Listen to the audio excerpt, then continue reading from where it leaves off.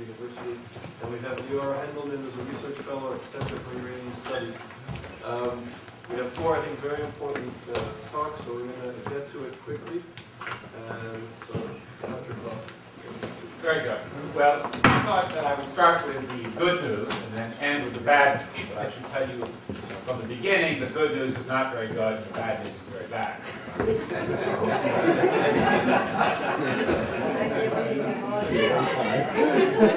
So why does Iran want to have the capability to build nuclear weapons?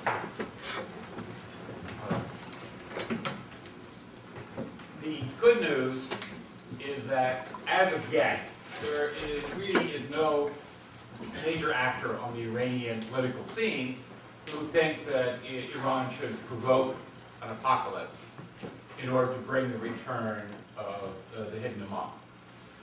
That uh, the general perception uh, is that uh, uh, more radical people is that the return of the hidden Imam is something to be expected and not just fervently hoped for, but to be expected. And that when the hidden Imam comes, there will indeed be a bloody apocalyptic battle in which most non-believers will die. But, at least so far, uh, their conception is that we should prepare for this day, which will come soon, not that there are things that we can do to hasten and certainly not that we need to provoke a great battle in order to hasten. However, I worry. Uh, by the way, if you're interested in knowing more about this subject, we published in the Washington Institute a very detailed study about apocalyptic politics. Um, by Mehdi Khalaji, spent 14 years studying the problem.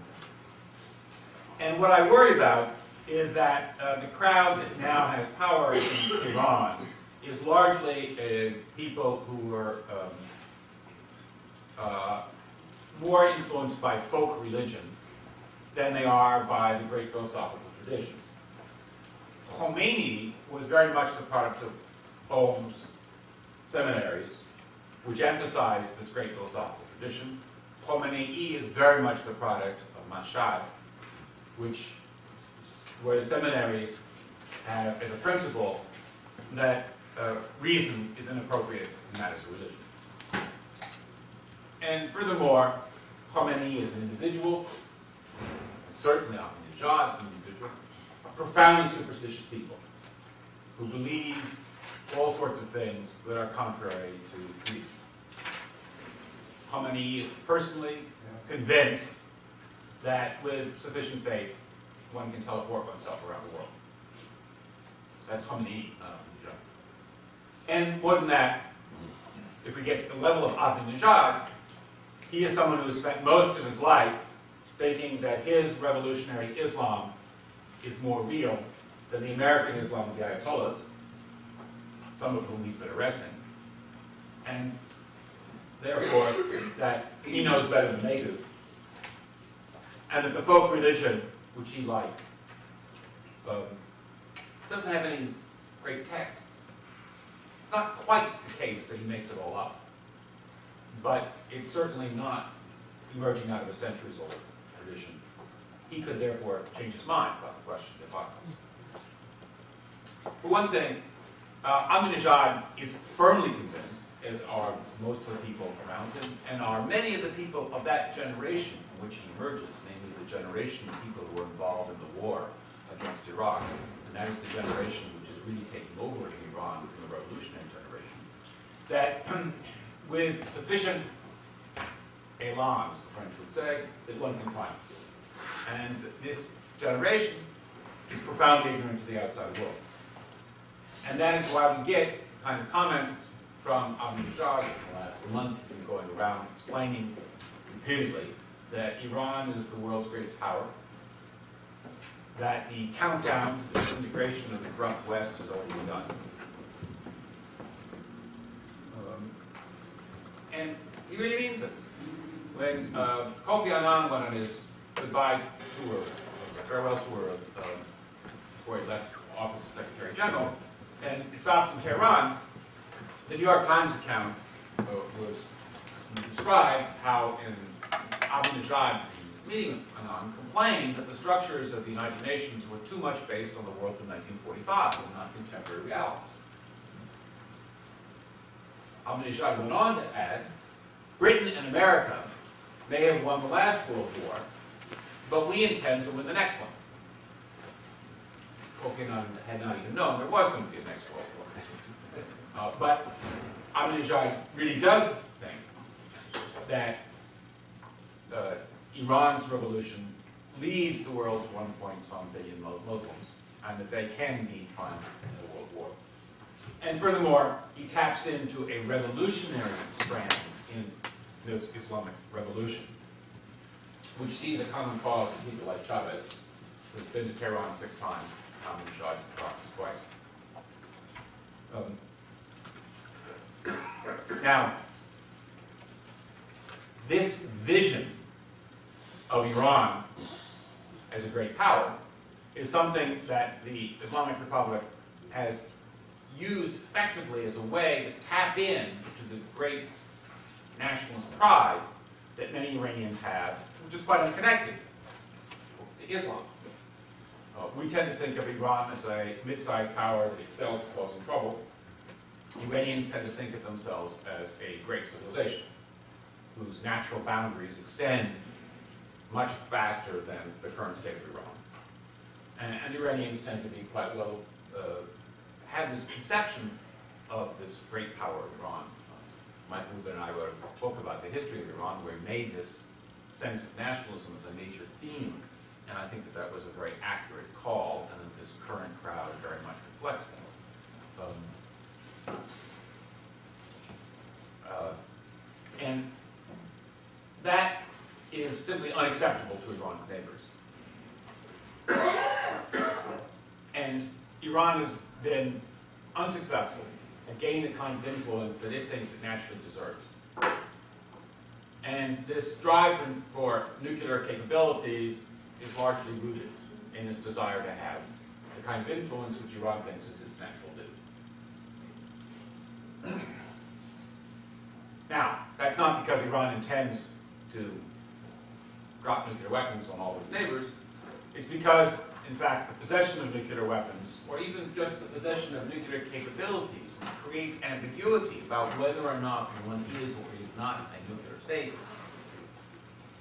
Something that co-author of mine and I call nuclear ready. Um, That, that can provide an umbrella for a whole variety of dubious activities. Let me just give one simple example. If it were widely felt that Iran might have its covert nuclear weapon,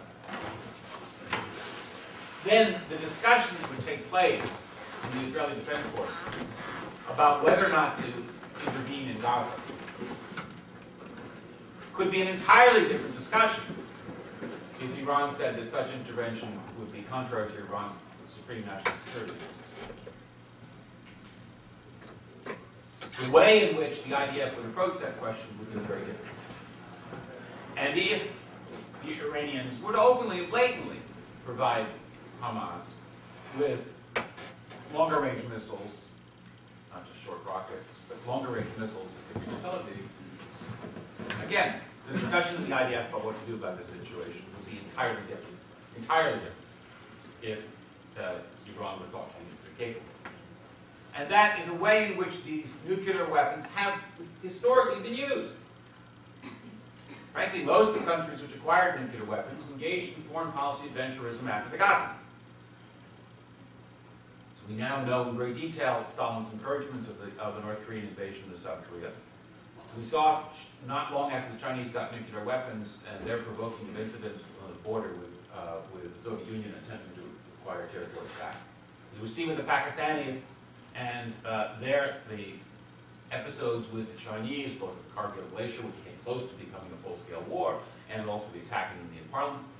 So there is a long history of foreign policy venturism after acquiring nuclear weapons. And I would argue that the, this, rather than defensive motivations, is at the core of what Iran is interested in with the nuclear capabilities. Because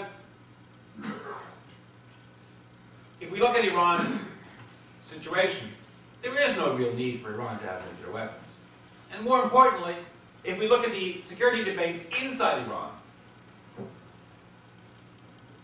those who are the most important decision makers are not concerned about any putative threat to invade the country.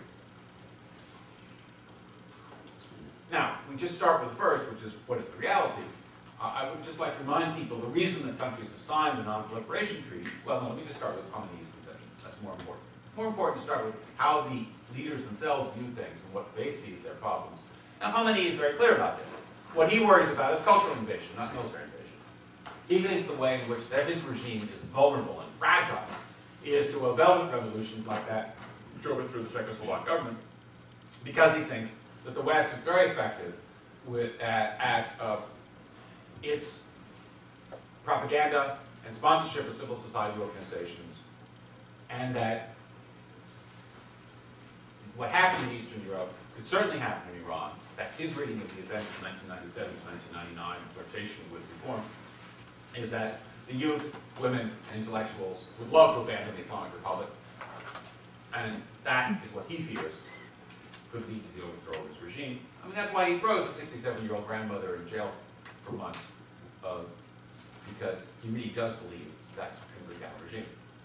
And puts on television a show explaining this, which goes into detail about the close collaboration between George Soros and George Bush in their common effort to bring down the Iranian government.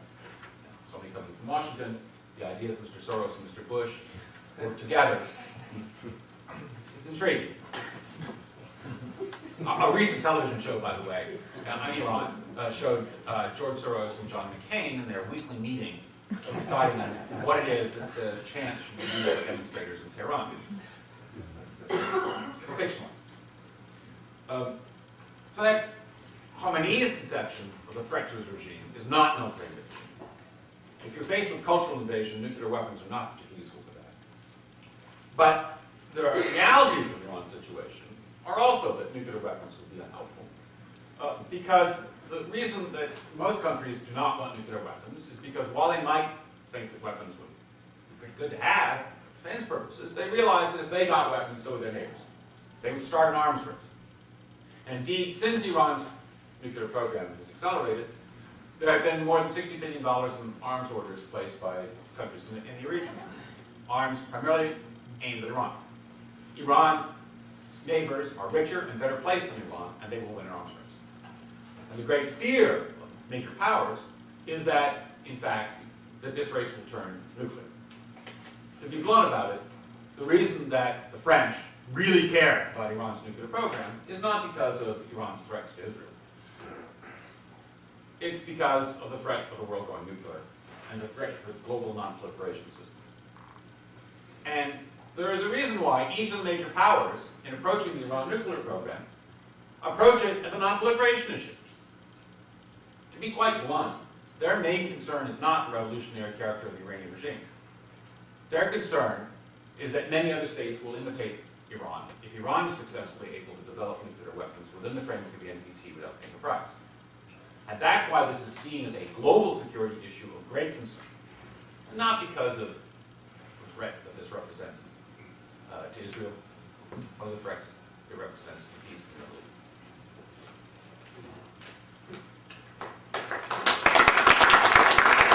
This is Michael Rubin, and he'll be speaking, his, his talk is entitled Countering Iran's Geopolitical Designs. Thank you very much. Um, What I want to do is look at two major themes, because in 10 minutes, there's obviously not enough to counter everything or discuss everything. One would be the nuclear program, and the second would be the challenge posed by um, successful application of Iranian soft power. First of all, one of the basic problems which we so often skirt around is, does Iran need nuclear energy to fulfill its needs? Iran's electricity consumption is growing at around 8% per year. By 2012, annual consumption could be between 202 and 289 billion kilowatt hours. By 2015, Ministry of Energy estimates uh, is that it will, Iran will have to increase its capacity by about one-third to 60 gigawatts. But Iran already relies on natural gas-fired plants to produce about 75% of its electricity.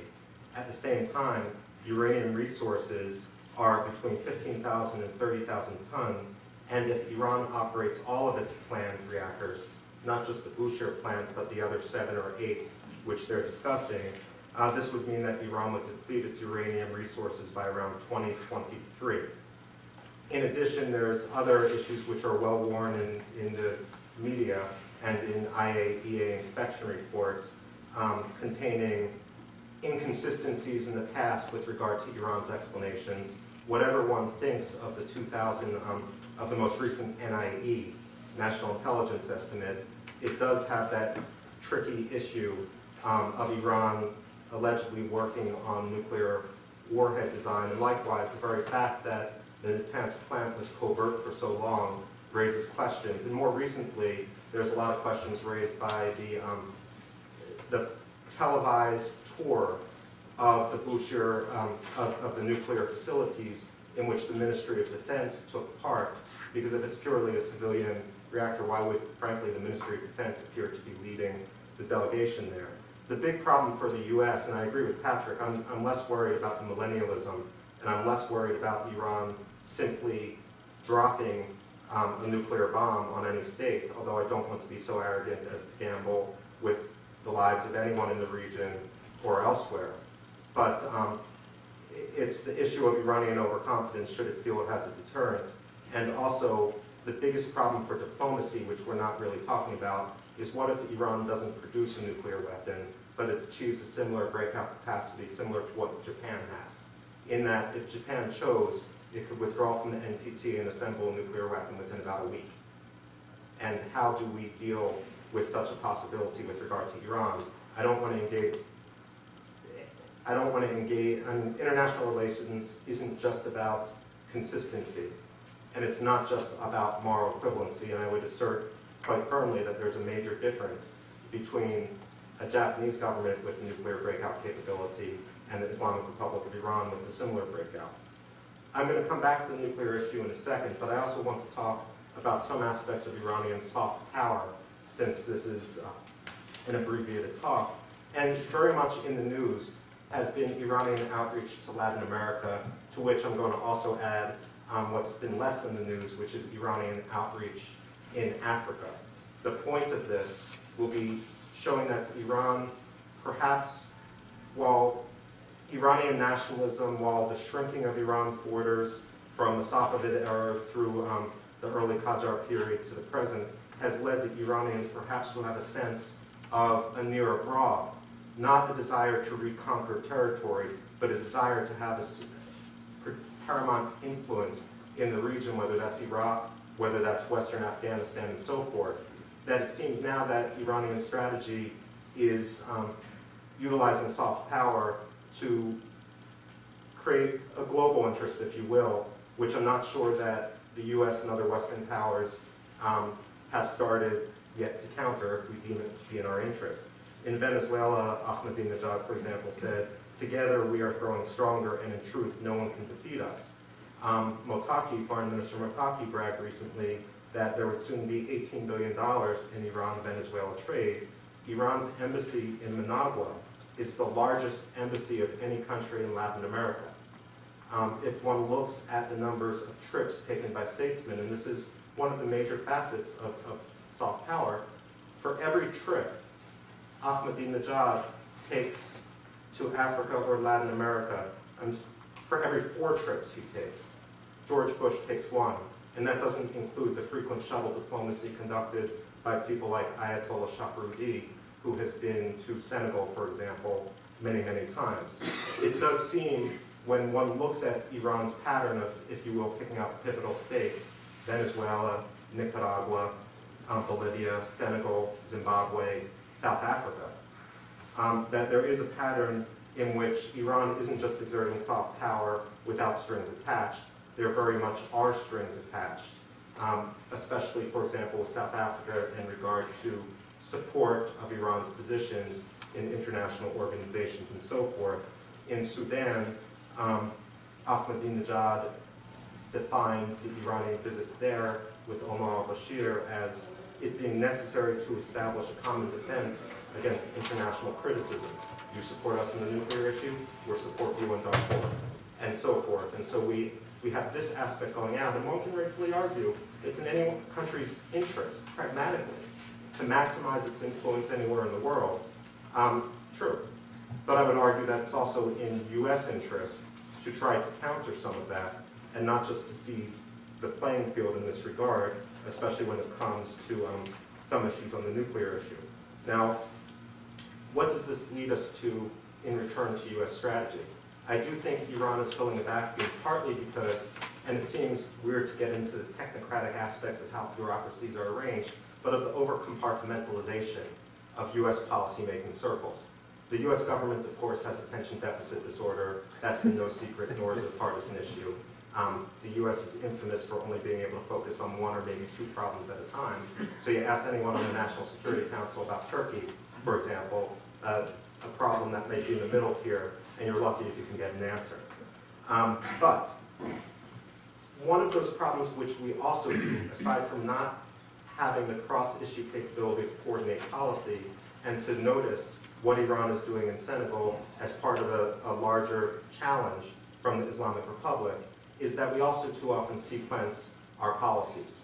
It's all well and good to say that we should have diplomacy first. First of all, let me just dismiss one thing out of hand. I don't know any serious policymaker who calls on, who wants military action against Iran.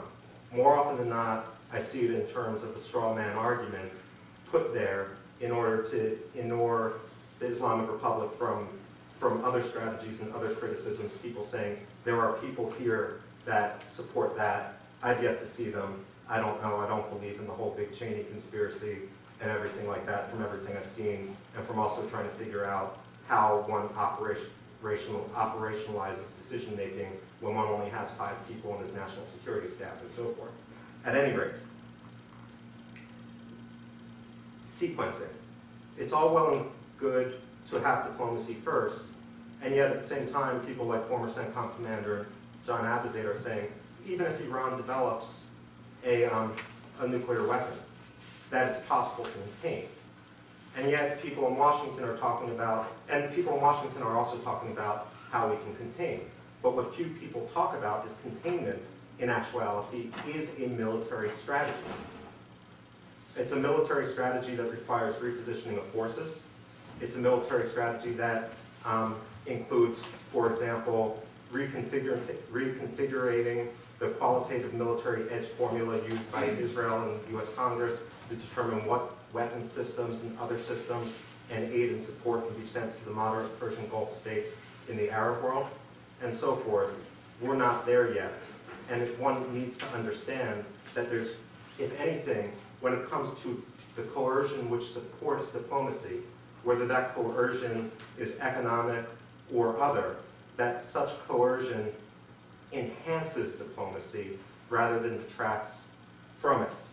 Um, one of the other very specific issues, not to get too much into the weeds, with regard to um, Iran's nuclear program and diplomacy and inspections and so forth, is the understanding that, um, as Reagan said, trust but verify, but it, it makes a big difference how you verify. The IAEA is only qualified by law, by, by its regulations, to look for declared weapons programs and to inspect declared weapons programs. So if there's a covert program, that's something beyond the IAEA's immediate purview. But also, when one has inspections, oftentimes one imagines them as instantaneous inspections, for example, when it comes to video cameras and reviewing the footage and so forth.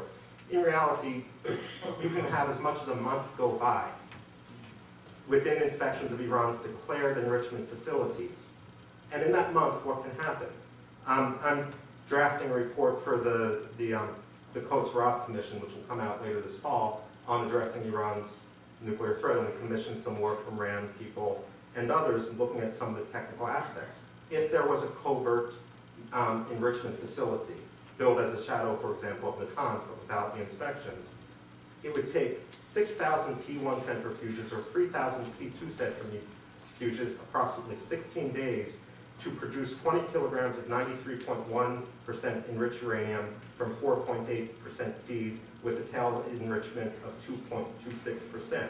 likewise, if one wanted to use a different calculation in Natanz, 20,000 centrifuges, if there are 20,000 centrifuges there, Ahmadinejad has now talked about 6,000, but upping the amount to 50,000, it would take 24 days by batch recycling to achieve the 20, the same 20 kilograms of highly enriched uranium. That doesn't mean that everything with Iran's program has to be taken off the table, but if you have inspections which in practice only look at the facility once every month, and one can divert enough material to produce enough 93.1% enriched uranium to build a, um, a nuclear bomb in 16 days, one has a problem in how much trust we can put in the inspections. Um, in conclusion, those are, those are two different issues. There's also the issue of informal influence. Um, the Iranian electrical system being hooked into Western Afghanistan, being hooked into Najaf and Karbala, that's great soft power. I wish with all the billions of dollars the Americans have spent, we could put um, a functioning electrical grid there. But we also have to recognize that while local governors in Nimruz province, for example, might be grateful, it also creates a situation where Iran can shut off the lights if they don't act the way we want them to act, um, and so forth. Um, I don't believe that military force would work with Iran, as Patrick has enunciated, and I think as many other people here agree with. Iranians are tremendously nationalistic, rightfully or wrongfully. They will try to use that nationalism to wrap Iranians around the flag. Um, and, I mean, listening to President Bush's speeches and hearing them as they're replayed in the Fars news agency or so forth, it's almost as if one is listening to two very different speeches. We have to be cognizant of that. Um, leaving enough for Q&A, just one observation which I find most intriguing with regard to where Iran is going right now and what possibilities exist for less kinetic action.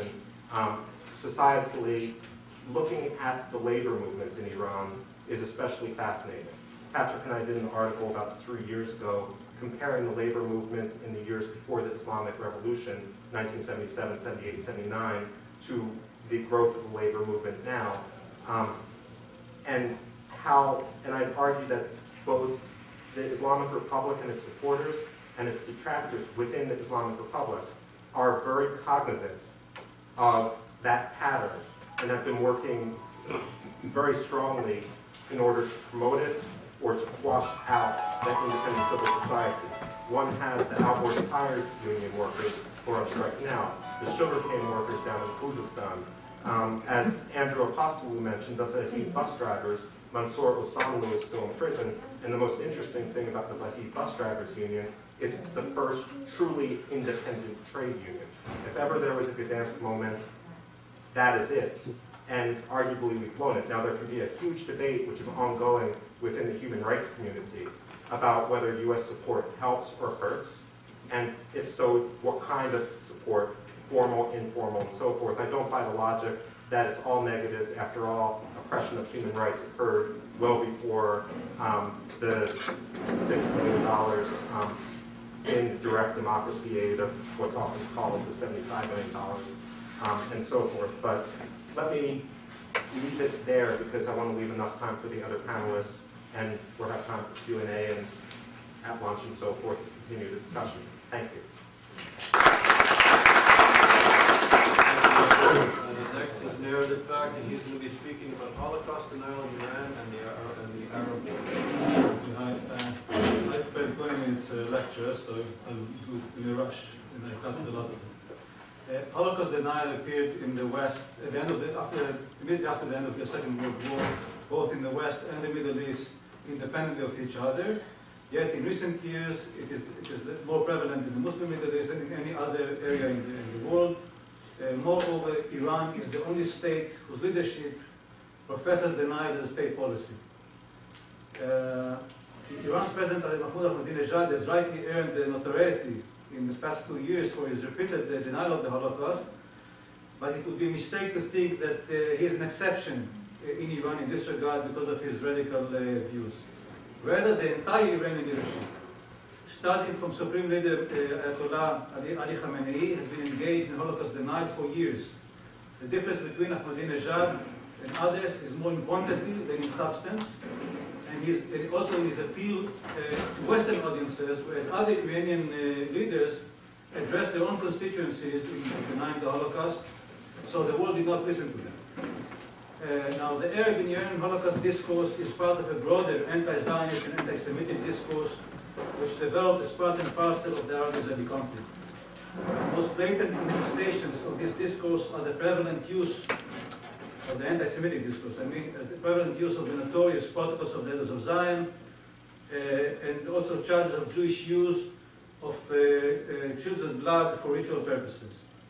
Uh, the Middle Eastern Holocaust discourse has dealt very little, if at all, with the events of the Holocaust itself, with the processes that led to it, or with the experience of the victims. Rather, this, uh, this uh, discourse focuses on the political implications of the Holocaust and the Arab-Israeli conflict, on what was perceived as Israeli instrumentalization of the Holocaust, and on its manifestations, on the status, of, uh, on, sorry, on its ramifications, on the status of Israel and Zionism. Uh, uh, consequently, we can trace uh, the following uh, attitudes toward the Holocaust in the Iranian and uh, Muslim Middle uh, East, uh, which range on the spectrum from justification to the false allegation of cooperation between Zionism and Nazism in extermination of the Jews, uh, to equation between Zi- Nazism and Zionism, and finally the most prevalent uh, theme of denial of the Holocaust. Unlike the West, preoccupation with the Holocaust or with Holocaust denial is not confined to marginal or extreme groups, but is shared by political establishments and mainstream uh, political and ideological movements. The denial of the Holocaust in the Middle East political and intellectual debate aimed primarily at demolishing the moral historical base of Zionism. Again, the most blatant manifestation of this instrumentalization of, the, of denial is its occasional uh, appearance with claims with explanations why Hitler was right in exterminating the Jews. For instance, Rafsanjani, a few months ago, explained that Hitler killed the Jews because Zionist control of, of Europe uh, a few decades uh, earlier. Or, uh, of course, another, uh, the prevalent view, again, in this regard, uh, has been that Zionism, which lacks any moral or historical justification, is based on a series of unfounded historical myths and outright distortions. The Holocaust is seen as one of the major myths that Zionism invented in order to gain Western political and financial support. Hence, the premise behind Holocaust denial is, there, is that the refutation of this lie will totally undermine Israel's international status and legitimacy. In addition, uh, deniers sought to present Israel as an unscrupulous state that resorted to any means in order to uh, extort Western financial and political support. The most prominent example, perhaps, of this uh, um, understanding is a statement by Supreme Leader uh, Ali Khamenei in April 2001 that, and I quote, the Zionists had exaggerated Nazi crimes against European Jewry in order to solicit international support for the establishment of the Zionist entity in 1948. There is evidence, he added, that a large number of non-Jewish hooligans and thugs of, uh, Eastern Europe, of, uh, from Eastern Europe were forced to migrate to Palestine as Jews as part of this conspiracy. Uh, presumably influenced by Arab Holocaust discourse, Iranians often employed contradictory arguments relating to the Holocaust. Uh, particularly denial and the accusation of Zionism uh, collaborated with the Nazis in killing the Jews.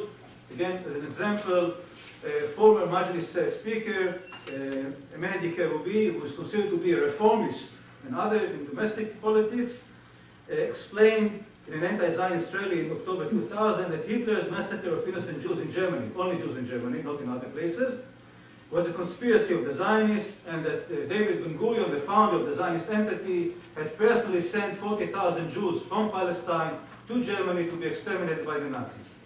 And then he added that only poor uh, and non- non-Zionist Jews were killed, whereas the wealthy and the Zionists were spared. By the way, the Iranian press claimed that the, Zion- the Holocaust was an American myth in order to divert attention from American crimes in the Second World War and, and blame Germany. Uh, again, the instrumentalization is also evident in, uh, in the frequent equation between Zionism and Nazism, or between the so-called Gestapo-like policies of Israel and those of Hitler, But while vilifying Israel, such comparisons often serve to belittle uh, the scope of the Nazi of Nazi crime and atrocities. Again, in a sermon on uh, Jerusalem's Day on uh, January 1988, Ali Akbar Rafsanjani, the number two man in the Iran hi- hierarchy, who prided himself to be an expert on Judaism and Zionism, explained that Israel uh, was much worse than uh, Hitler because uh, Hitler killed at the most only 200,000 Jews, whereas the Zionists supposedly killed more than 1 million Palestinians. Uh, uh, in addition, he argued that uh, Nazism and Zionism are alike because uh, Hitler's claims on uh, Aryan supremacy are equal to Jewish claims of the superiority of the Jewish race. And again, the purpose of this equation was evident in a statement by Mohsen Rezai, secretary of the powerful Iranian Expediency Council and former commander of the Revolutionary Guards, who counted Nazism, apartheid, and Zionism as the three sinister, inhumane phenomena in the 20th century and predicted that Zionism would finally meet a similar fate as Nazism, that is destruction. Now, Iran went further than any Arab country in hosting and officially endorsing and sponsoring uh, Western Holocaust deniers who face persecution, uh, sorry, prosecution in, in the in countries, and I can give you a list of uh, names which I will skip for lack of time. Uh, uh, again, the most prominent example was the French Holocaust denier Garaudy, who was, after uh, being convicted in France, uh, came to Iran, uh, was given audience with uh, Supreme Leader Khamenei, with the reformist President Khatami, uh, and many other state leaders, and Iranians also collected money to help him pay the fine uh, which he was supposed to pay. Now, to conclude, I want to make some general observations. Iran Holocaust denial, denial is not a consequence of ignorance of historical facts. The great effort to provide denial a pseudo-scientific basis reflects a certain awareness of the enormity of the valid evidence of the Holocaust. In addition, the exclusive reliance on Western Holocaust denial is a product of selective and manipulative reading and borrowing of material published in the West, and a conscious disregard for the vast scholarly, publicist, and literary output dealing with the Holocaust that does not suit uh, the Iranian ideological conviction. It is also reflective of a broader phenomenon of the narrow and superficial borrowing uh, from the West, which is typical of Islamist movements uh, as a whole. However, whereas in, uh, in Europe, Holocaust deniers rep- represent fringe elements that are still despised by mainstream intellectual and academic circles, in Iran, again, the most serious, uh, senior government officials and the media and academics uh, play a leading role in Holocaust denial while in endorsing the Western deniers. Uh, consequently, the Iranian public is not exposed to other, uh, to the other more truthful aspects of, of history. Uh, now, while Iran professes to be anti-Nazi, such denials uh, minimize the extent and depth of Nazi evil and brutality. Again, the selective reading of Western denial literature and the contradictory arguments raised by some of the Iranian writers raise the question of their own genuine belief in their own arguments and uh, statements. It is very likely that ordinary Iranians, again, who are not exposed uh, to Western academic literature on the Holocaust, do believe in the propaganda that they, they are being served. But also we have to remember that uh, contradictions are not uncommon among anti-Semites throughout history. So it is perfectly possible that the Iranians genuinely believe in uh, what they say. Uh, now, uh, Iran Holocaust denial is a manifestation of anti-Semitism disguised as anti-Zionism. Using the pretext of Zionist fabrication of the Holocaust, Iran distorts and denies Jewish history and deprives the Jews of their human dignity by presenting the war strategy as a scam, even though this has got nothing to do with Zionism per se.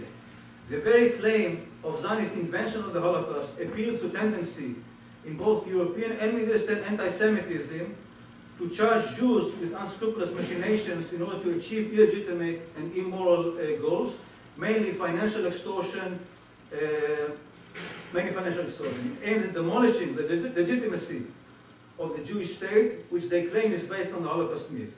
As such, It is in tune with uh, anti-Jewish and anti-Zionist sentiments in Europe, which argue that the Jews forfeited their status as victims by victimizing the Palestinians, and that Israel does not have the right to exist because uh, the human price it requires is too high. Uh, finally, while Iran professes to be anti-Nazi, again, Holocaust denial and the equation of Zionism with Nazism minimizes the extent and depth of, of Nazi uh, evil, thereby serving the cause of Western neo-Nazis and others and other Semites. And again, the vilification of Zionists as Nazis is intended to offend the most painful feelings of the Jews by equating them with their worst uh, tormentors.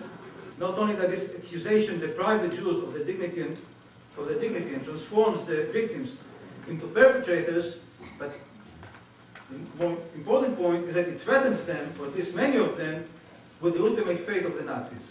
Thank you. Thank you, Meir. And now, uh, Liora Hendelman Baavur will speak about the Iranian use of the internet for propaganda and Holocaust denial.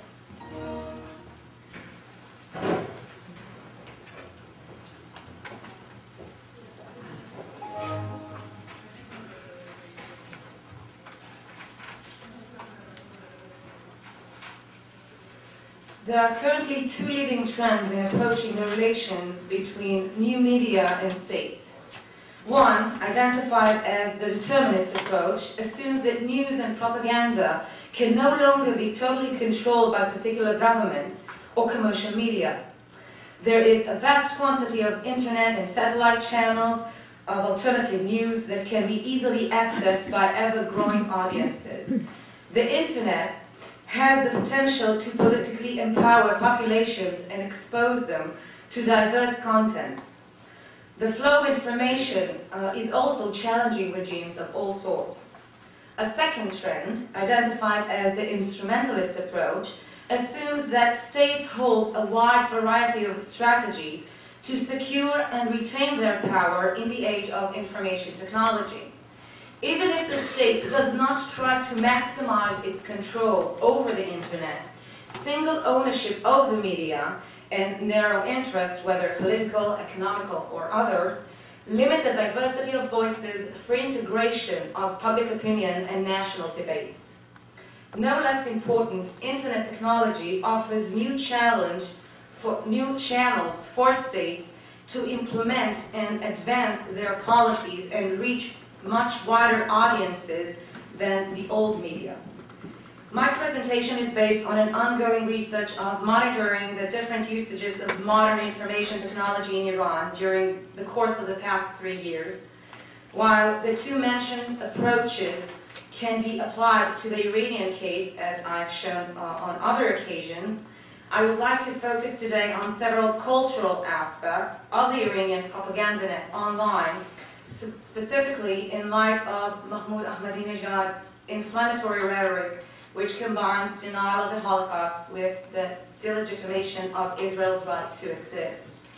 For the sake of the argument, I will use propaganda in its widest sense, meaning the management of collective attitudes by the manipulation of significant symbols and ways in which they are manif manifested, manifest, manifested um, culturally through media propaganda and news spectacles online. In this respect, the Iranian propaganda net online includes an official and unofficial or semi-official dimensions. The official propaganda is transferred through several channels and directed to different target audiences. First, there is the Iranian local audience. Second, Iranian expatriates and exiles. Third, the Persian-speaking communities, especially Afghanis and Tajikis. There are also uh, propaganda which is directed to foreign audiences, uh, like non-Iranian Shiite population, Arab-speaking populations, non-Arab Muslims, and non-Muslims. In recent years, the Iranian regime has invested tremendous resources in the internet. Among other things, the Islamic Republic has used the internet to export the Islamic ideology of Ayatollah Khomeini to advance Iran's aspirations for regional hegemony in information and communication technology development as well, and support its political ideology against the US and Israel. For these ends, the Islamic Republic have established a very impressive multilingual and multi-channel internet presence that includes news outlets, news agencies, government websites, Iranian leadership websites, and satellite and internet, internet TV stations. In addition to these channels, the Iranian uh, government is engaged in launching cultural events and spectacles supported and document, documented by online activities such as the International Exhibition and Conference.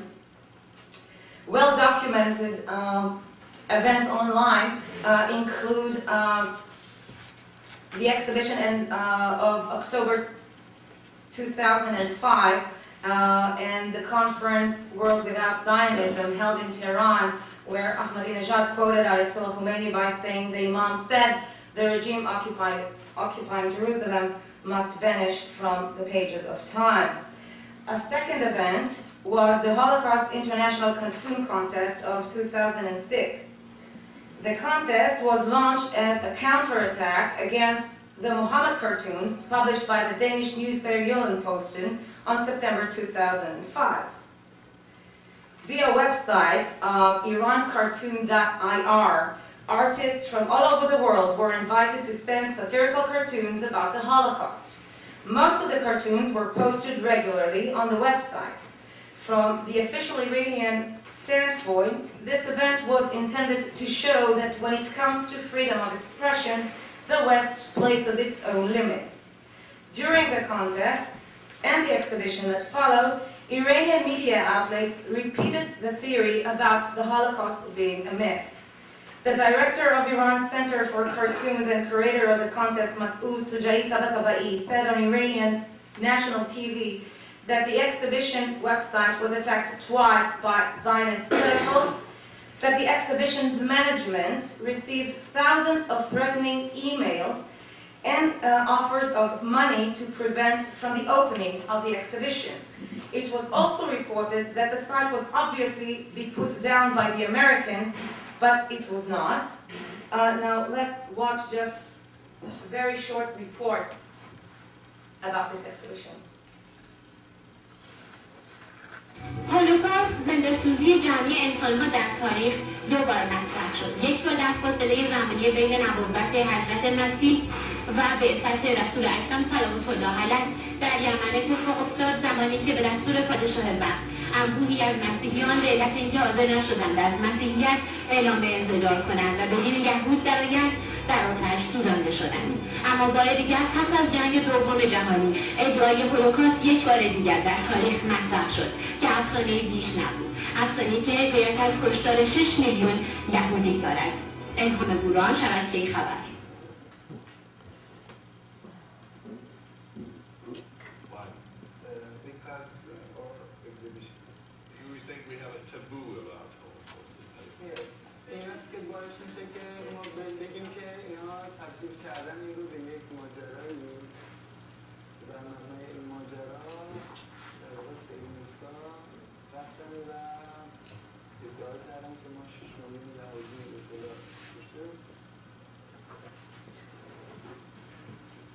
Contrary to his determination about the mythical numbers, Shojaei Tabatabaei was quite lost for words when he was asked by the Danish reporter why, for example, the cartoon of the Portuguese Augusto Cid, if you can see it, this is not a conspiracy. I assure you.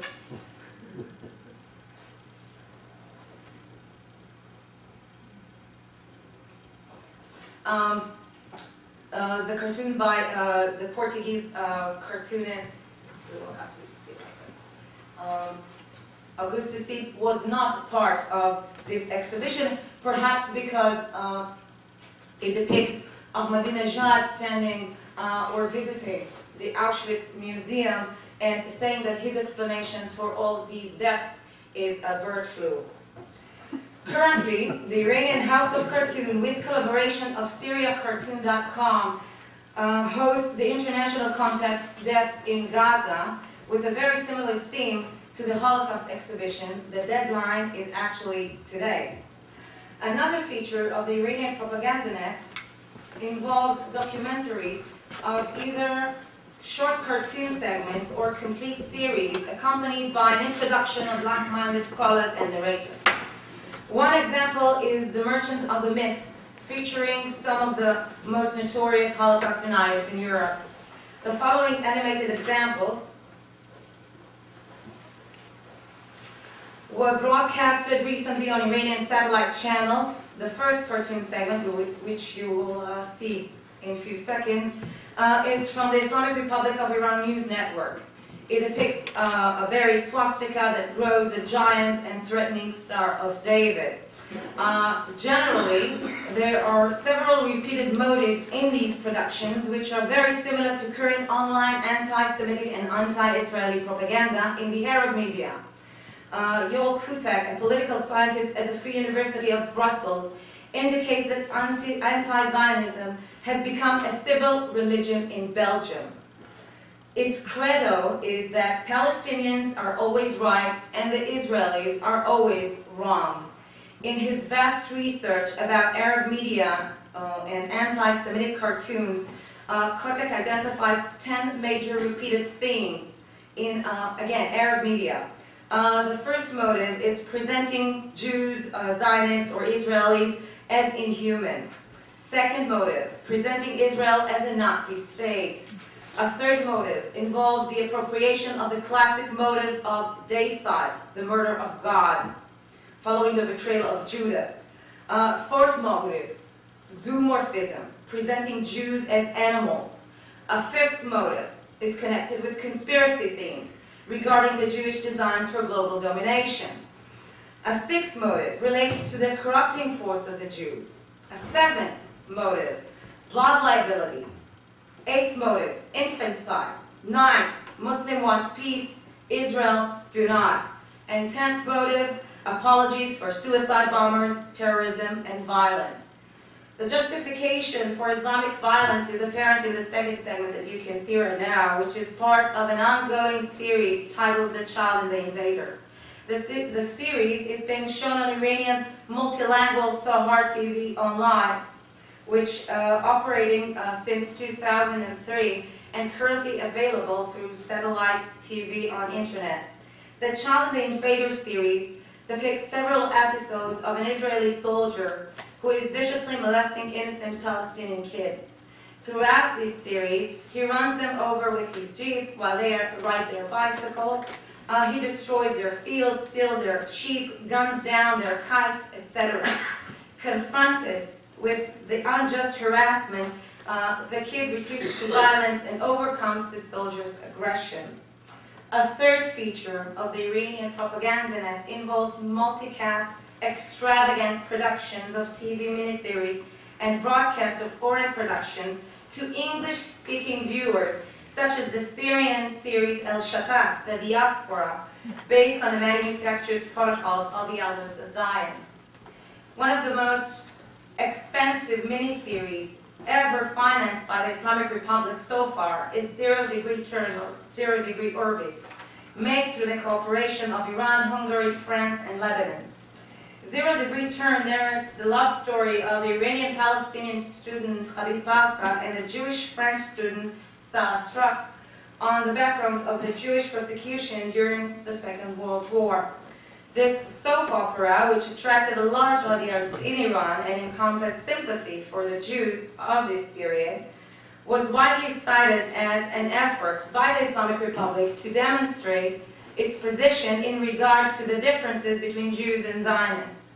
Yet, this attempt for differentiation grows pale by recurrent use of classic anti-Semitic motives and Jewish symbols presented in other productions by Iranian state-run television. 40 Soldiers, a miniseries of 28 episodes, was aired last year every Thursday night on Channel 2. Written and directed by Mohammad Nourizad, the production included 300 actors, filmed in 100 locations, took four years to produce and cost more than 2 billion toman, which is a little over $2 million. The series explores Iranian history during four periods. The pre-Islamic period, the life of Imam Ali, the 10th century and the life of Ferdowsi and the modern era. One of the episodes of 40 Soldiers depicts the conquest of the Jewish fortress of Khaybar during the 7th century by a Muslim army led by Imam Ali.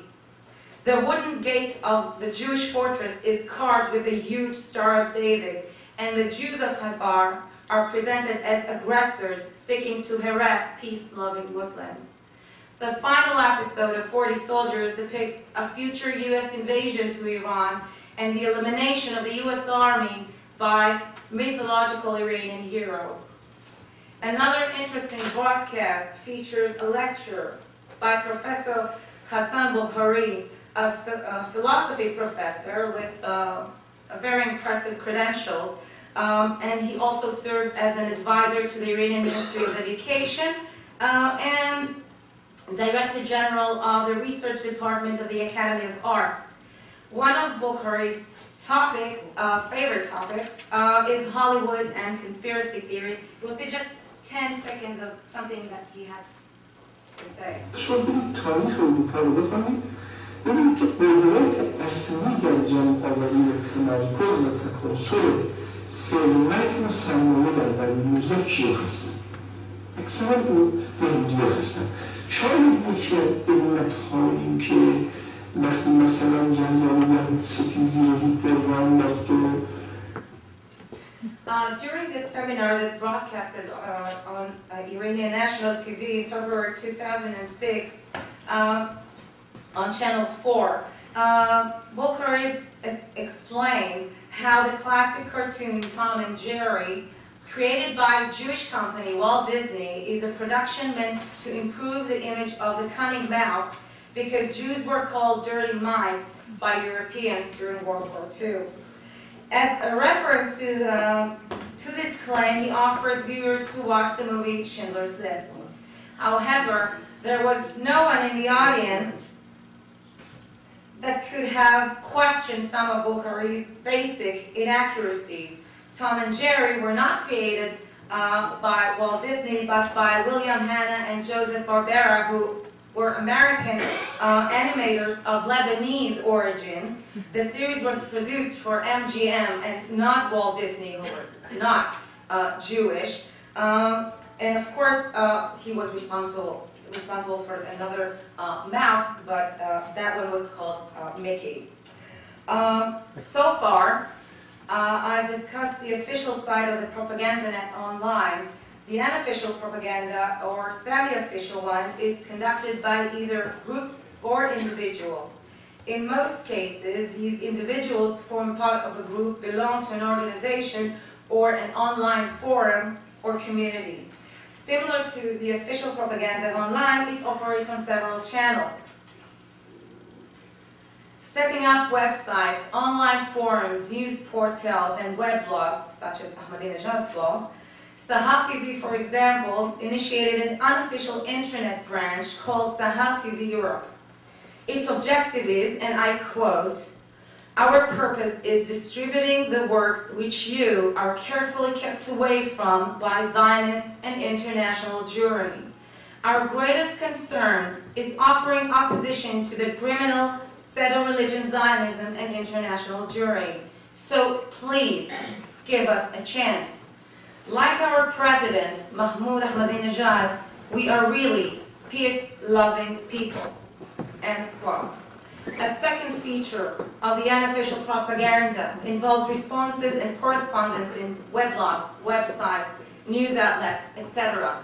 In many cases, responses online contain extreme violent language that is better be left unquoted, especially here. A third motive of the semi-official propaganda is manifested in post-recorded videos of TV series, religious sermons, conferences, etc. Most of the segments I showed here are documented by the Middle Eastern Media Research Institute and other research centers.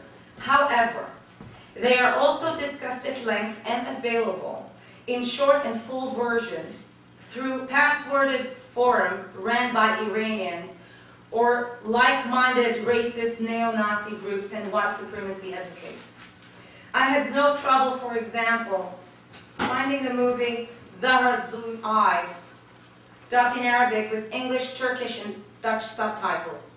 The TV fictional drama, directed by Ali Darshi, was aired by Iranian Sahar 1 TV station in 2004, focusing on the capture of seven-year-old Zahra by the fictional Israeli high-rank military officer with political ambitions. The plot depicts how Israeli doctors are harvesting organs from Palestinian children. Following the broadcast of this TV drama, France has banned Sahar 1 from its airwaves in February 2005. The Netherlands have responded the same in 2006. The Iranian authorities blame the Zionists for that act. In one of the forums online where a link to download Zahra's Blue Eyes is posted, one of the forum members wrote the following response. In the past, I used to hand out flyers. Nowadays, I burn CDs. And I ask people, do you have a computer?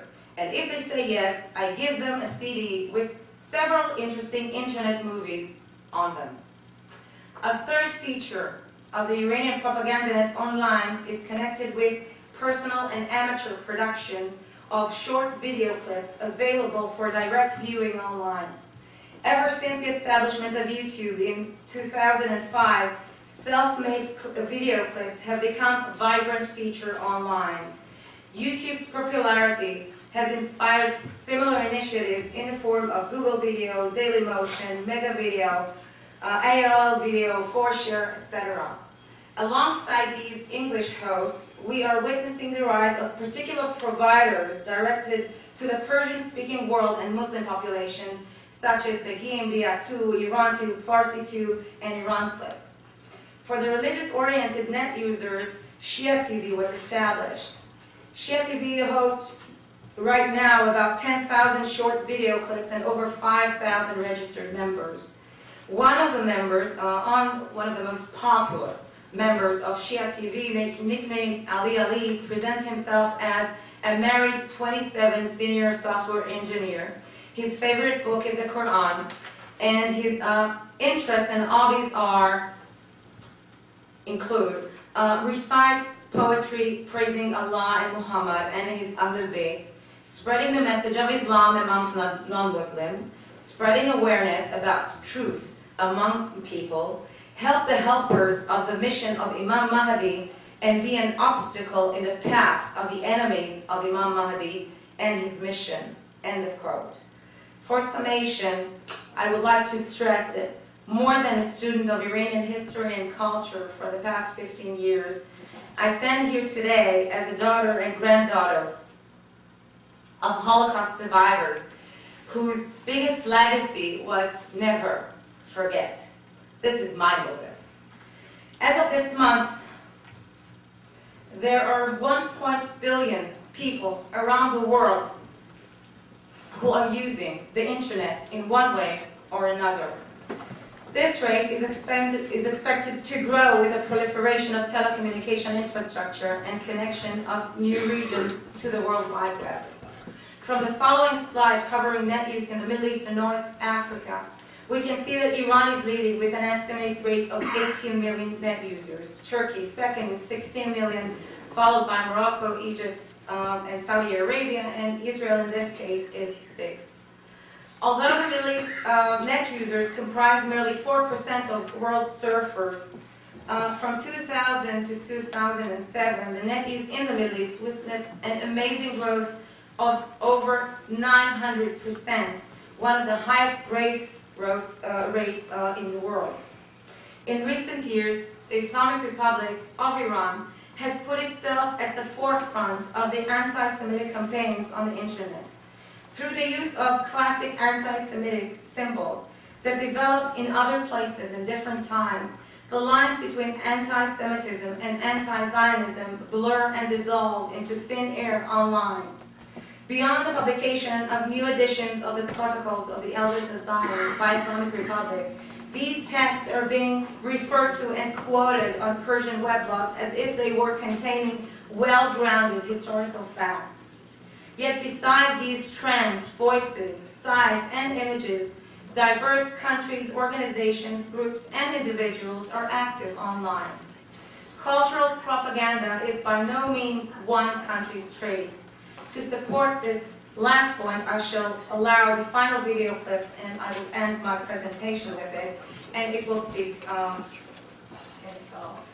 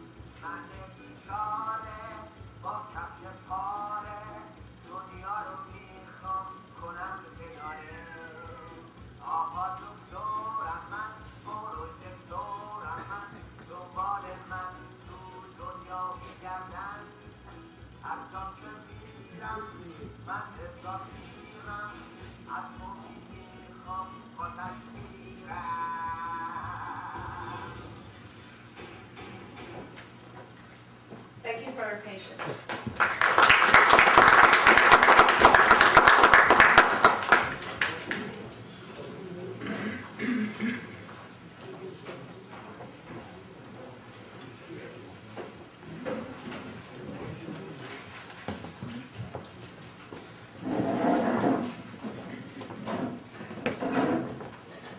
Thank you very much. Are there any questions for the panel? Sure. questions for Dr. Clawson and others. You mentioned earlier uh, about the IDF strategy might be different. I think it was if they were assured that, this- that that Iran had nuclear weapons, and I guess the question is, is it, is it not clear to the IDF strategists that that this is a, a a real case and that the concern of just long-range missiles coming uh, into Gaza is, is a more a reality than a concern of the future? Um, I I was just trying to suggest that in the event that Iran had uh, nuclear capabilities, that uh, the IDF was worry might actually translate into having nuclear weapons, that the IDF would take that into consideration in thinking about military operations, be it in Gaza, be it against Syria, be it against Lebanon, in the event of provocations in any of those places. I was just trying to give a- an an example, perhaps a chosen one, of how uh, even ambiguous nuclear capability on the part of Iran uh, would make a difference in um, the politics of uh, the Middle East. And sometimes the suggestion is made, such as by former President uh, Chirac of France, that uh, what would Iran do with a nuclear weapon? Because if Iran ever used it against uh, uh, Tel Aviv, then Iran would be uh, destroyed in retaliation. I was trying to illustrate how even an ambiguous nuclear uh, capability can in fact help influence, help advance the interests of the country and influence the politics of the region. Uh, That that was my sole point.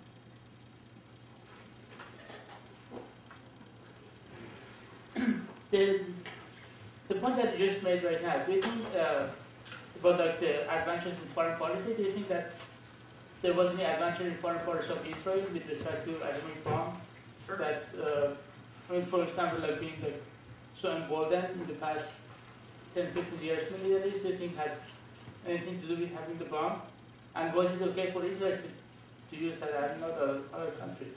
Well, I think that uh, Israel's possession of nuclear weapons certainly emboldened Israel uh, to feel that its security could be more safe in spite of the risk of, uh, that it faced of uh, attack by a number of Arab countries at the same time. And that's one of the important reasons why I think Israel was prepared to make peace with, with Egypt and return the territories to, the, to Egypt, the Sinai, Sinai Peninsula to Egypt, was that Israel felt more secure about its uh, uh, security. Uh, and, and in general, I would argue that the uh, that countries which face overwhelming opponents that want to wipe them off the, uh, off the face of the earth are, are likely to want to have a doomsday weapon. And that's the reason why it's going to be very hard to persuade a country like Pakistan, faced with the India threat, North Korea, faced with the South Korean American threat, or Israel, faced with what it saw as a, a, an Arab threat, to give up nuclear weapons. After all, the reason the United States had nuclear weapons was a similar reason. Uh, and um, these are the really difficult cases when countries want a doomsday weapon. Iran is not in that situation. It's not in that situation. Uh, Secretary General Ban at the United Nations likes to say that North Korea acquires nuclear weapons out of desperation, Iran pursues them out of aspiration. Uh, and, and I think that captures the difference. Iran is out to have greater influence in the region. It does not face an enemy who threatens to overrun. Just one answer. There's a complete asymmetry in the Middle East conflict. Uh, there uh, are, let's say, there used to be 20 Arab states versus one Israel, or let's say Iran versus Israel. Israel has never been able, will never be able to defeat or conquer the entire Middle East. The Arabs can lose 50 wars, but if they win one war, that's the, that's the, that's the end of the conflict. Israel can win 50 wars, but if it loses one war, that's the end of Israel. There's a basic asymmetry. Iran is eight times bigger than Israel. Israel will never be able to conquer Iran or destroy Iran and so on. But it is much easier, here I can quote uh, Rafsanjani, who said, it's sufficient for one nuclear bomb or several nuclear bombs to destroy Israel. The Muslim world can take many nuclear bombs. Therefore, there's a complete asymmetry in this regard. Israel never claimed, as far as I know, and I lived there for the past 50 years, that it would destroy or wish to destroy any Arab state or wish to destroy Iran. Whereas Iranians, Iranian leaders have com- repeatedly stated their desire, aim, aspiration to destroy Israel. In that sense, there's complete asymmetry, and the can't between the two. Um, I've heard so much from this panel, so much uh, about things that everybody knows, the old story. Very little about, from each one of you, about how we deal with Iran. My question to Patrick, for instance. We know that Iran relies heavily on China and Russia. We know that we have asked Chinese to help us with the Korean uh, nuclear why is it, or is there any possibility to go into that direction and try to deal with China and Russia? One thing, arguing with Europe, persuading Europe involved is not going to help. But China and Russia have enormous influence. In fact, uh, Iran cannot survive without their support. So why is it that we're not going that direction? Some ideas. First, let me just suggest that I think you're quite right, that the uh, approaching the great powers and having unity of the great powers in responding to the Iranian threat uh, offers some decent prospects of influencing Iranian decisions. It's not by no means guaranteed that it will work, but that it offers some decent prospects. Uh, and that's why this approach of working with the great powers has been the heart of uh, both U.S. diplomacy and European diplomacy of the last several years. And that's why so much effort has gone into trying to achieve unanimity at the United Nations Security Council is to show the unity of the international community. Uh, uh, um, that has been the heart and core of the I'm effort being comical, I know that you're right, but I'm, I'm talking about how we approach Russia and China so that they, they can persuade them. This is my question. I I would say that the essential way to persuade the Russians and Chinese is by emphasizing that a nuclear world, a world with many, many countries that are nuclear is not in their interest. I do not think that Russia or China care very much about the threats against Israel. I don't think they care very much about the revolutionary character of the Iranian regime. But I would say, tell you that the Chinese do care a very great deal about the phenomena that was mentioned by Michael, that namely that Japan could readily become a nuclear power. And that, and, uh, that is a nightmare for the Chinese leaders. Suggests to Chinese leaders that if Iran goes nuclear, so will other countries such as Japan and Taiwan, is a good way to grab their attention as to why the Iran nuclear issue is a matter of Chinese national security concern. And I think that in fact, the successes that we've had with China and Russia have been precisely because of the extent to which they worry about this. They worry, that is, about uh, greater proliferation throughout the world. On the whole, the Chinese leadership's attitude is that what one does with difficult uh, uh, regimes is one induces them and one uses strategic patience. That's the approach they've taken in the North Korea talks, which they care about a very great deal. Uh, and so it's not surprising to me if that's their approach towards Iran. I happen to think that that's uh, a naive and generally ineffective approach. But I, I do think that that is the Chinese approach to this matter. Anybody else like that?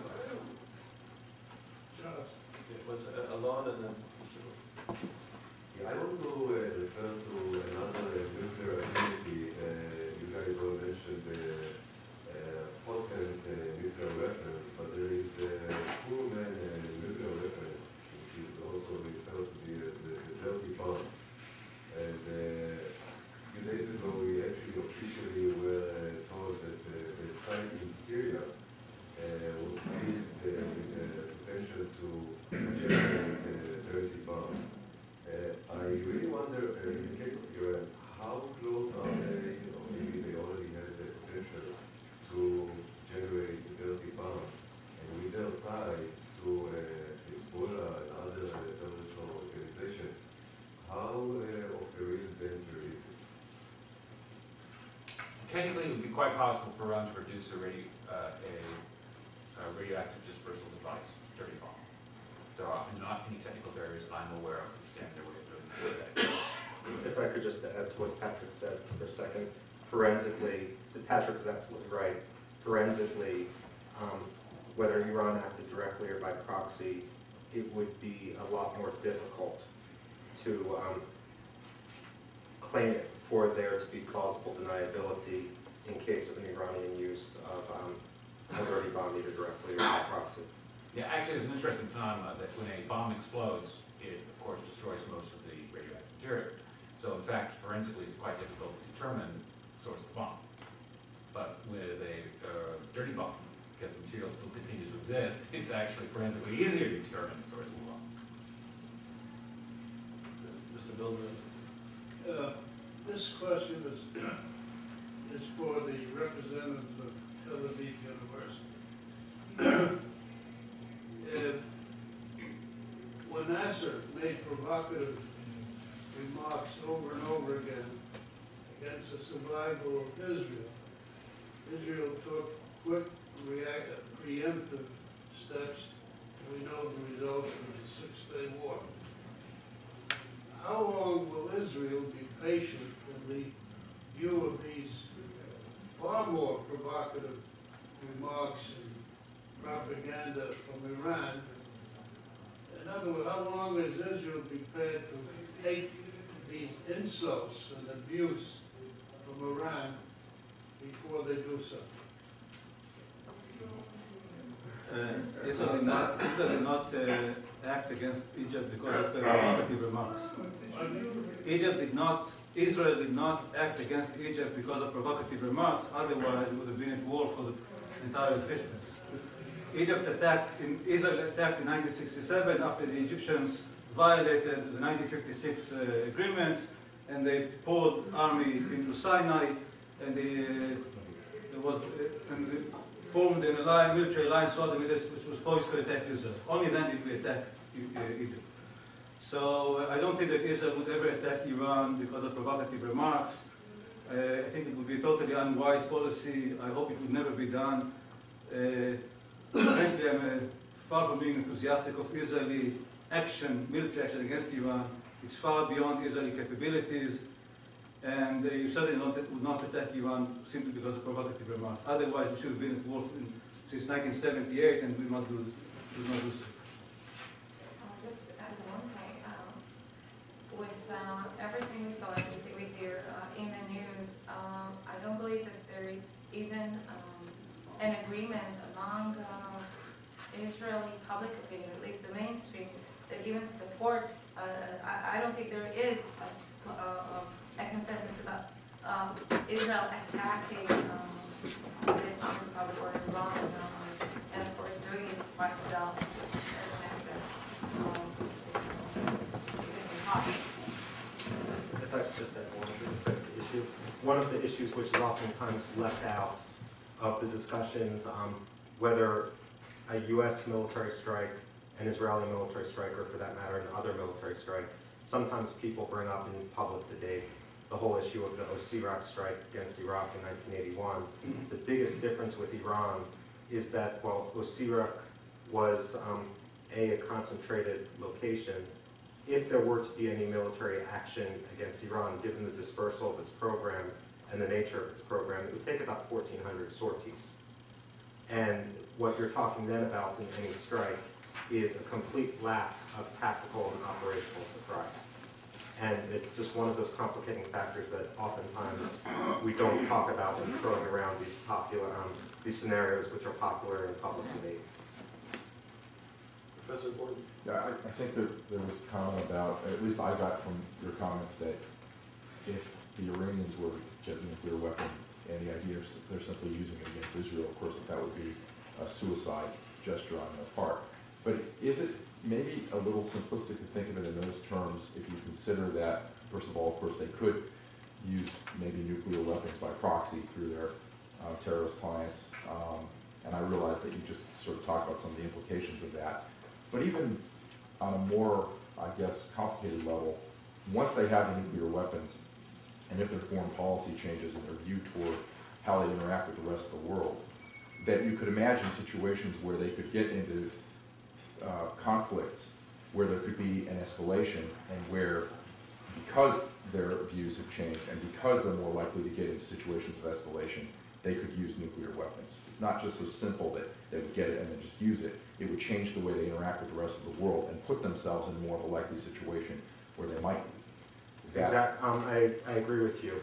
And what I'm saying is, if Iran got a nuclear weapon, I'm not sure that the immediate situation of, oh, we've got a nuclear weapon today, tomorrow we're bomb Israel, I don't think that's gonna happen. But I agree with what you're saying. What I should say is whether they act by, um, two points, whether they act directly or by proxy. I mentioned in my presentation about laying the groundwork for containment and understanding that containment is a military strategy, even if it's not a kinetic military strategy. On the same way, deterrence indicates if, if there is going to be successful deterrence, it mandates an understanding that if Iran directly or by proxy utilizes nuclear weapons, that there will be a similar response against Iran. If there's going to be um, transparency to enable deterrence to work, politicians and officials need to be able to say that. At this point, there doesn't. And this brings the second point, which to me, look, when I read things on the internet or Washington papers, and living in Washington, Washington's famous for its navel gazing. Everyone assumes that things happen around us. Oftentimes, my frustration with US policy is that I don't see any strategies. They play chess, we play checkers. Um, and the issue then becomes um, our reaction, which leads to the greatest danger, which I think you're highlighting, and I just want to highlight what you're highlighting, which is the greatest danger, to, in my mind, is an overconfidence developing, a misreading of what the U.S. red lines are, to the point where um, we could stumble into a conflict that neither side wants. Yeah, just a quick joke. Uh, many years ago, when uh, an eminent political scientist uh, wrote an article in a book on the theme that uh, if countries acquire nuclear weapons and they become much more serious and sober in their calculations because they realized the terrible destruction that could be visited upon them if they were to use these nuclear weapons. And this author was arguing that therefore the spread of nuclear weapons was good for global stability. And one of his eminent colleagues uh, said, what a wonderful proposition. Let us apply the same principle to automobiles.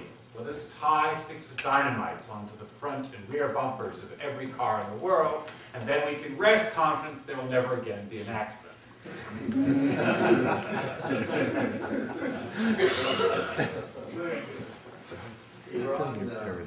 through its proxy, I guess Hezbollah in Lebanon uh, seems quite close to, we could see the Lebanese government fall. And Iran certainly having much greater say or much greater control in Lebanon through Hezbollah. And now the border of Egypt and Gaza seems to be open who knows what kind of weapons are flowing into Gaza, and Iran is certainly aiding and abetting the Hamas regime. What do you know about Iran's gas and chemical weapon capabilities and the potential that Hezbollah or Hamas may use it? And to the Israelis on the panel, why is the Israeli government sitting almost paralyzed watching Hezbollah completely rearmed? Who knows what's flowing into Gaza and how long is this intolerable situation going to continue? If I could just make a small comment about the, the, your question. Um, The UN Security Council resolutions uh, about Iran's and also about Lebanon uh, have included uh, prohibitions on the import of weapons into Lebanon prohibitions on the export of weapons from Iran. Yet Iran, the leader of Hezbollah tells us that uh, Hezbollah now has 40,000 rockets that can, Israeli IDS estimate is higher. Uh, I think it's unfortunate if we adopt Security Council or elsewhere these tough-sounding resolutions and then do nothing to enforce them. I think we have to be very careful in thinking about what it is that we have as a declaratory policy, to make sure it fits with what we will actually do. And therefore, I think it would be very inappropriate for the Israeli government to make tough-sounding statements about what it will do against Hezbollah and Hamas, unless it thinks through very carefully and, clearly whether or not that is in fact in Israel's national interest. If they make those tough-sounding statements, I certainly hope they follow through on it. Let me just say two things. Uh, Suppose we attack Lebanon tomorrow to disarm Hezbollah. What then? Are we going to stay in Lebanon for the rest of our uh, history? It's impos- impossible. We, we tried it once, it failed miserably. Uh, the moment we withdraw from Lebanon after such a bloody war, Hezbollah will rearm again. It goes back to my other question. We can never totally defeat Arabs. Only we we can do is win time until the next uh, eruption of violence. Therefore, it is not in our interest to start unnecessary wars unless there is absolutely no other alternative. The same thing goes with Gaza. Okay, we'll invade Gaza tomorrow. We'll clean Gaza. How many casualties for us and for the Palestinians? What then? Are we going to stay in Gaza for the rest of our lives? Because once we withdraw from Gaza, there's all likelihood that, Hamas or whoever is there will rearm. So in a sense, uh, such wars come only when there's absolutely no other alternative, when the situation becomes totally unbearable. Fortunately, so far, and again, if you look at Hezbollah, Nasrallah said during the war later that had he known the kind of Israeli response, he would not have started what he had done in June 2006. This is the way to prevent future wars, not to start them whenever they rearm, because again, otherwise we would always be engaged in constant wars, full-scale wars, which we cannot do. If I could just throw one point out of what Patrick and Meir said.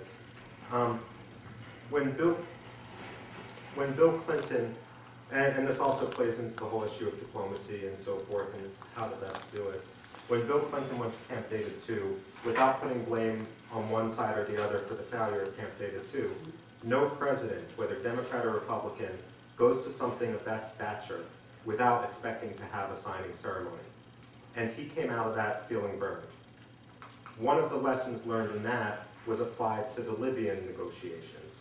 The British, when they were doing the preliminary Libyan negotiations, it took about three years for the British negotiators to determine with confidence that, the that Muammar Gaddafi would listen to and abide by who they were negotiating with. Now, this also applies with regard to Iran. It's wrong to say that we don't talk to Iran. We've seldom stopped talking to Iran, both officially and unofficially through proxies and so forth. One of the greatest issues now, and this goes back to the first panel, is with regard to who is in control, and I'm not just talking about the power centers. it's wrong, I'd say, to talk about Iran's nuclear program. Look, ninety percent of the Iranian people are absolutely wonderful, and anyone that's ever spent time there knows that. But it's the guys with the guns matter, that matter, and it's the military chain of command over that nuclear weapons program which matters, which also then issue, um, brings into issue what was alluded to towards the question and answer period of the first panel, which is the rise of the Revolutionary Guard. If you will, I may see it differently than some others. I see it as a slow creeping military coup d'etat when one looks at the connections, official or unofficial, between the parliamentarians, the governors, the deputy governors, the heads of the bonyads, and so forth, based on their service in the Revolutionary Guard.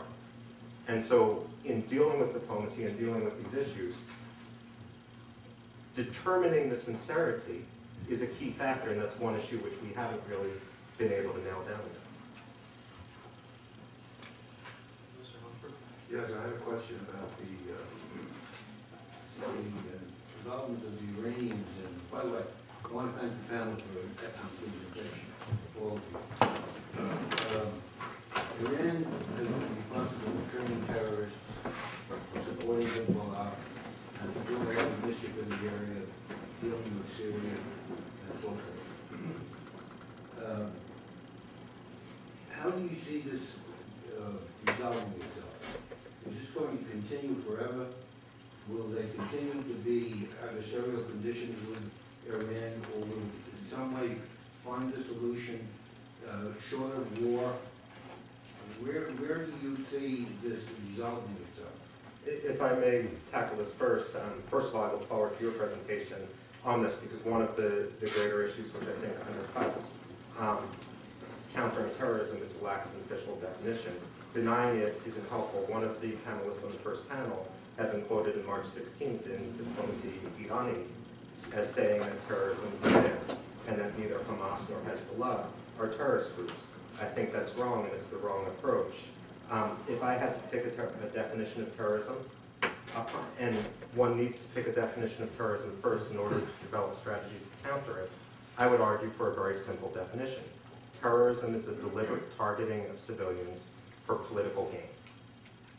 And unfortunately, we don't, uh, there was an article written by an Australian counterterror um, expert who wrote that um, there, in surveying policy practitioners across the globe, there's over a hundred different working definitions of what terrorism is. So, no, I don't think it's gonna go away. It's a useful asymmetric strategy. The rise of the 24-hour news media amplifies um, the benefits of that, but ultimately it's not going to be defeated until the costs of conducting terrorist operations outweigh the benefits. And this goes back into also forensic. Um, whenever one conducts a ter- terrorist operation, they expose themselves forensically, and one can wrap up cells and so forth.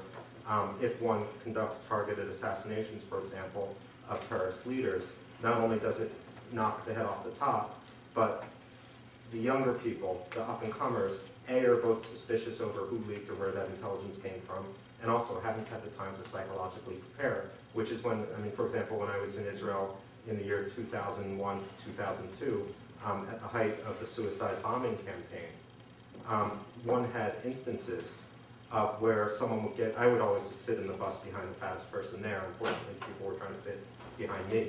Um, but you have a situation where people would come in sweating, fortunately not on my bus, but um, actually on my roommate's bus it happened.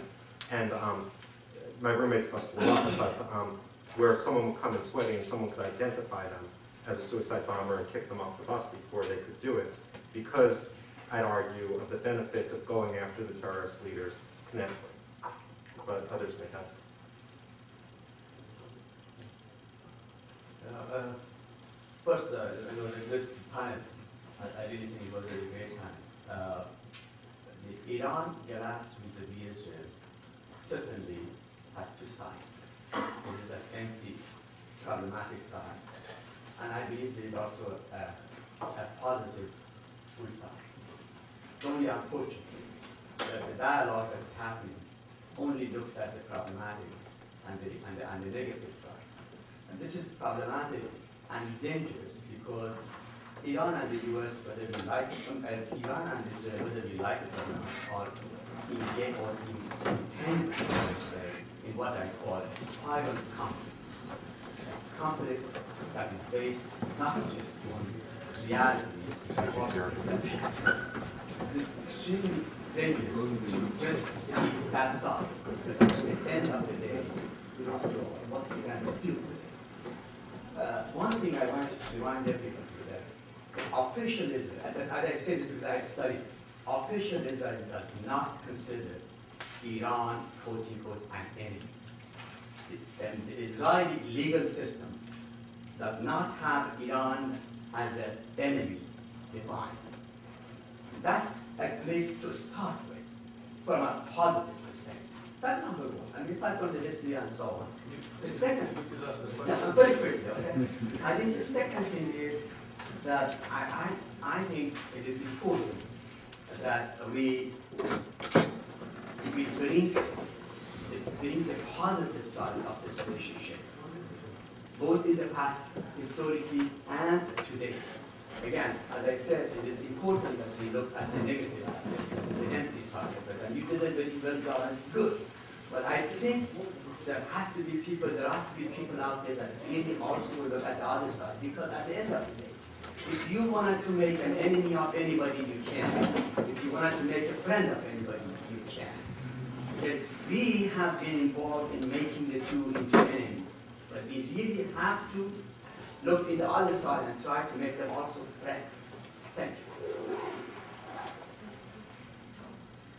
I want to say that um, most of the questions here were addressed to uh, issues of um, the nuclear weapons and whether or when Iran will have it, or whether or not it's going to use it and how, and whether it's going to be against or Israel or some other countries in the area is one thing. Um, it is important for me, and this is what I was trying to do here, that there is something long-lasting in symbols that are being transmitted in all forms of channels of Iranian media today.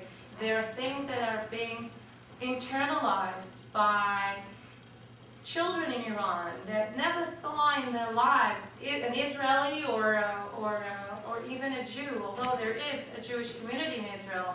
And the only impression in Iran, sorry, in Israel too. Um, and the only impressions that they get is that Jews or Israelis or Zionists look like this, and there is no counter discourse in Iran itself to say otherwise. Of course, there are also uh, um, Iranian officials uh, in one way or another giving interviews mostly to Western media, and of course, following his declarations, Ahmadinejad was interviewed in uh, many news outlets around uh, Europe and in the US as well, uh, trying to explain what exactly he meant, um, and of course his uh, point of view.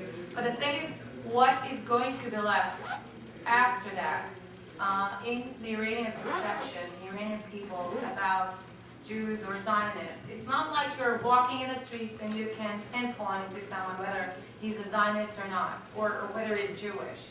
Uh, and, and these are the things that, um, when I look to the future, whatever policies change, and of course, I'm, I can't say that uh, I'm not looking forward for the day when I will be able to walk through the streets of Tehran as, as, as a visitor and as a guest. Um, but uh, I am scared about the implications and the long-term ramifications of these symbols being transmitted the way that they are. And, and it is a tendency that started in recent years because uh, in many interviews uh, by the directors of these series, they said that they began working on these series uh, many years ago. It's nothing new. But the thing is that they didn't get the right funds or it wasn't the right moment to broadcast them. So they waited. But now the Holocaust and, and uh, the anti-Zionism movement or discourse is, is more uh, into the mainstream so they can show it. And of course give it a stage. And this what uh, troubles me. And, uh, I think my That's just it. one Excuse me. point is. The last question, and then it is. Yeah, we have, there's one of the panelists has to go, okay? Allow me for a second to be cynical, and I apologize for that. I would be very happy to know what are the positive uh, aspects today. But the fact that there was Cyrus the Great 2,500 years ago is meaningless today in more today's world politics. No, you don't, uh, when January comes, you don't say, well, six months ago it was summer and spring and everything was wonderful, therefore I won't take my coat outside because six months ago it was uh, spring, uh, summer. You have to prepare yourself for the present world. Unfortunately, uh, again, uh, what is going on, uh, the, the kind of dehumanization of, of Jews and Israelis in Iran is overwhelming. And looking at that, and, and the fact again that uh, there was that we love to eat Persian food, or we, uh, Israelis love Persian music, uh, or there was Cyrus the Great, is totally meaningless compared with this kind of dehumanization. And again, without going too becoming too radical, the 20th century has known too many examples outside the Middle, outside Europe, when dehumanization led to very tragic results. And therefore, we cannot disregard this type of dehumanization, looking back nostalgically at the past and saying, no, okay, one uh, uh, I did not say that they disregard that, that I exactly the, the, the fact that you Okay, made so those points not, is it's not, except that you have I'm to have to, that. as the chair, I'm gonna have to turn so I'm going to discussion. Okay, Professor Reyes, and then a second question, then we have to end it very quickly. I was impressed with Mr. Misbach's uh, assessment of the Israeli position. It can win the battle and it cannot win the war because it's surrounded by people who survive a longer time. And more of them, they will continue. Therefore, I ask, this is not about Iran, it's about Israeli strategy. That's the assessment Israelis share with you. Why do they have a policy which seems to, in fact, be a very tough policy, continue to expand the uh, settlements? Uh, When, when Hamas was elected by democratic means, uh, the day after they became terrorists and were kept out of the negotiations with the Palestinians. How does Israel expect to make peace with the Palestinians when half the Palestinians are not in the game? So this is one indication of a very tough Israeli policy. If they take your position, which is that they cannot win by continuing wars, why do they not try to be a little more flexible in their foreign policy? Well, first of all, I'm very much against settlements. I'm not going to be a defend settlements. Okay? In my opinion, it's the greatest folly of Israeli policy in the past 40 years. It's the greatest danger. One, it's a major danger for the future existence of Israel, the state of the Jews. Okay? So I'm not going to defend settlements. Secondly, Hamas was a terrorist organization before the elections and after the elections. The fact that the movement wins the elections democratically does not, make, does not abolish or nullify its terrorist activities or terrorist uh, nature. You can, you, can, you can be elected and remain a terrorist. Thirdly, what flexibility with Hamas was what? Hamas had uh, advocated for years the elimination of Israel. Should I negotiate which way should be eliminated? The length of the time of this elimination or, or what? Hamas refused in the past to accept our existence.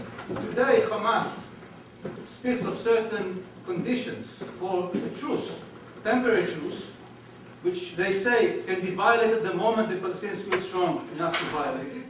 But the conditions for this truce actually mean the peaceful elimination of Israel. That would be very difficult for us to negotiate. We're not going to negotiate our existence.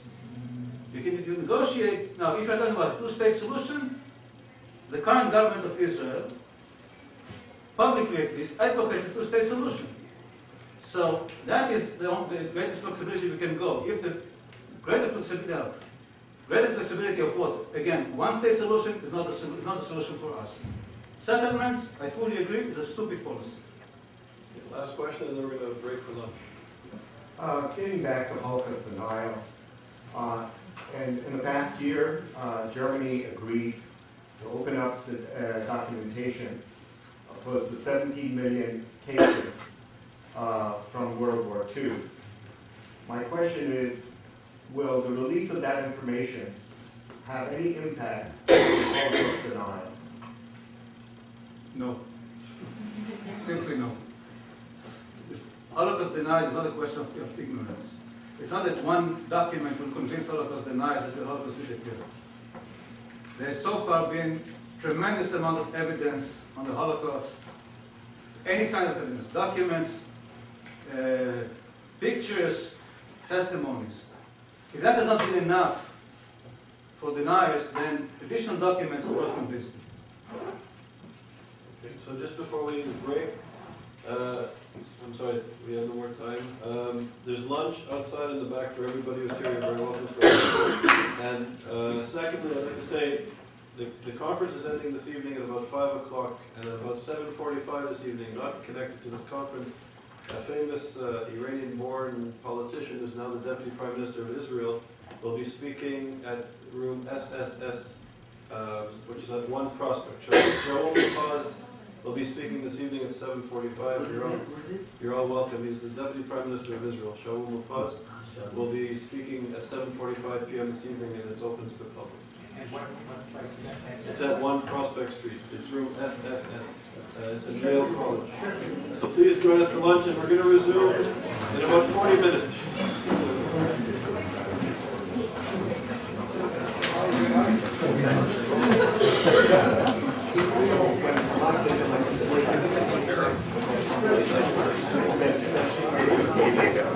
Well done. Thank you.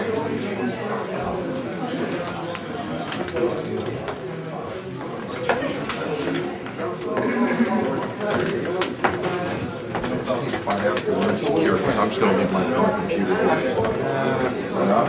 You can I mean, or else I can't hear you, so I gotta leave it some. content free online. Static. Yeah, uh, Lauren will probably be out there at that time.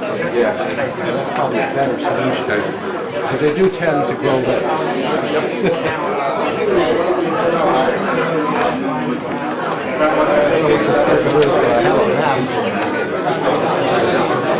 You asked a question, We said we, what's the next thing? We can debate. I provided the- Okay, well, you're allowed.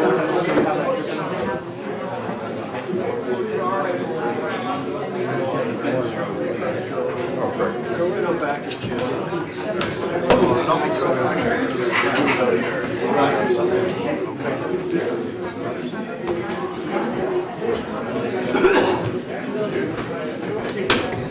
I'll survive. I don't know, but it's considered. It's Take the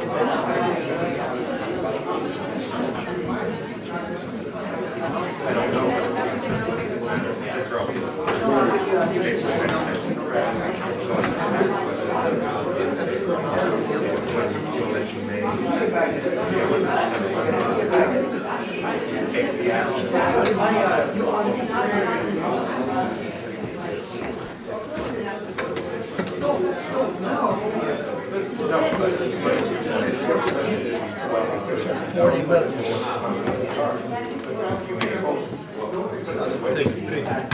Yeah. That'll be busy. And your, no one wants this to be. That's right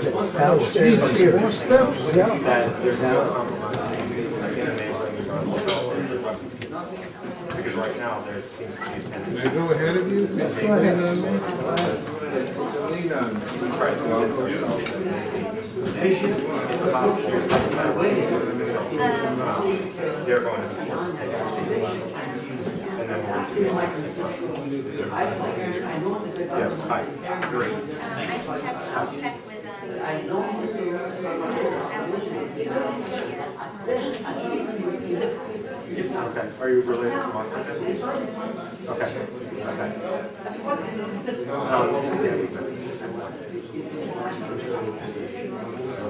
Oh. Tight as it is, or and all different sorts of things. I I was a postdoc.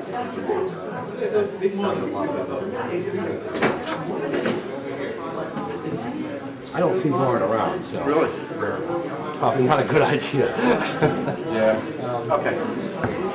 Well, I actually, I have, yeah, I have my bag. Very good. Thank you. Thank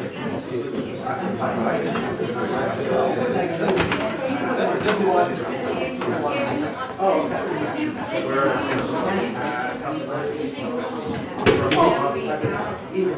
I was there